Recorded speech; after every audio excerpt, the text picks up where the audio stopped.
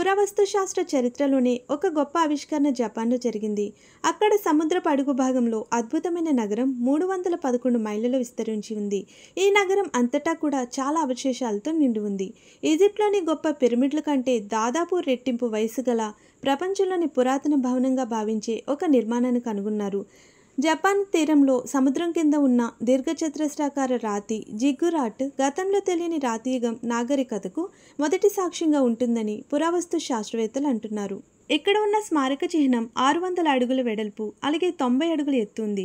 ఇది eight thousand BC నాటిది. అయితే ఈజిప్ట్లోని పురాతన పిరమిడ్ సకారా వద్ద ఉన్న step pyramid five thousand years తర్వాత నిర్మించబడింది.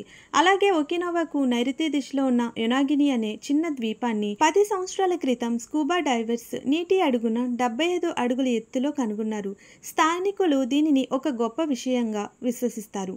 యొనాగని జిమాకు దిగువన ఉన్న నీటిలో మునిగిపోయిన రాతి నిర్మాణాలు దాదాపు రెండు వేల సంవత్సరాల క్రితం భూకంపం వల్ల మునిగిపోయిన పురాతన జాపనీస్ నగరం యొక్క శిథిలాలు.